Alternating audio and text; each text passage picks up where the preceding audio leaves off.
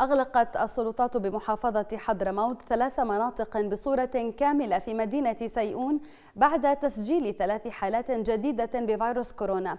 وأعلن الناطق الرسمي بمكتب وزارة الصحة العامة والسكان بحضرموت الوادي والصحراء اكتشاف ثلاث حالات مشتبه في منطقة الغرفة بمديرية سيئون قادمة من عدن.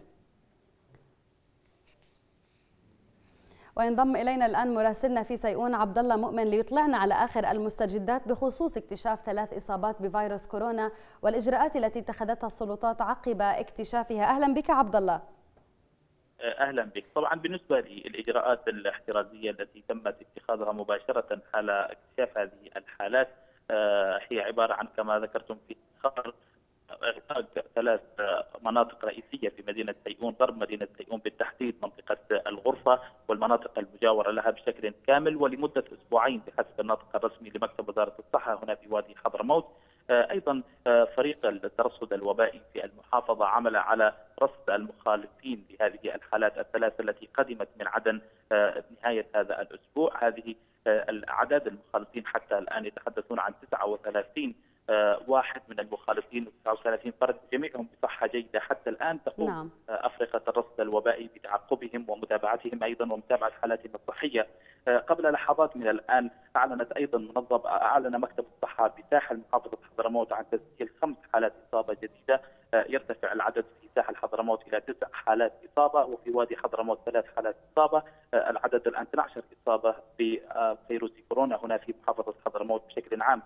طبعا الأطباء كانوا قد حذروا المواطنين القادمين من عدن بأخذ الحيطة والبقاء والتزام بيوتهم لمدة 14 يوم حتى لا يعرضوا المجتمع بشكل كامل لخطر الوباء خصوصا أننا في محافظة حضرموت رغم أن المحافظ كان قد أعلن إغلاق المحافظة بشكل كامل وإغلاق منافذها آه، سواء كانت باتجاه مدينة عدن إلا أننا للأسف الشديد آه، آه، هناك يتحدثون عن شكاوي واختراقات لهذا الإغلاق. هناك لا زالت مجاميع من المواطنين يمرون من محافظة عدن والمحافظات الأخرى باتجاه محافظة حضرموت. نعم. وبالتالي ربما حصلت هذه الإشكالية حتى الآن عبر منافذ مختلفة خصوصا أن المنفذ الغربي كان قد أغلقه محافظ المحافظة بقرار منذ إعلان أول اكتشاف حالة في عدن.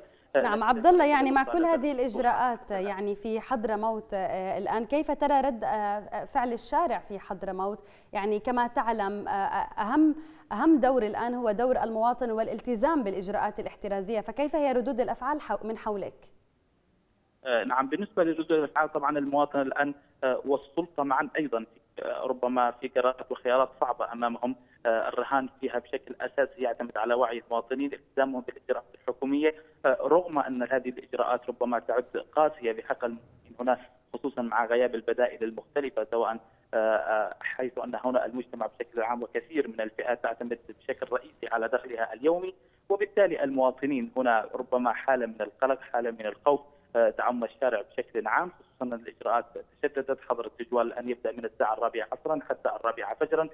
اوقات الذروة الرئيسية وبالتالي المواطنون آه، هناك ربما حالات معينة في بعض المناطق لا زالت موجود استهتار لا زال هناك تهاون لا زال الكثير لا يكترثون بالإجراءات. وأيضا الآخرين الذين ربما يريدون أن يتخذوا تدابير الظروف المعيشية الصعبة. إلى جانب أيضا آه، اعتمادهم على دخلهم اليومي يحول بينهم وبين اتخاذ تلك التدابير. وبالتالي آه، آه، يجد المواطن انه على السلطات المحلية اتخاذ حلول وبدائل مناسبة تمكنهم من أخذ تدابير مختلفة حتى لا يتفشى المرض نعم. بصورة كبيرة. نعم اذا كل الشكر لك عبد الله مؤمن مراسلنا من سيئون حضرموت.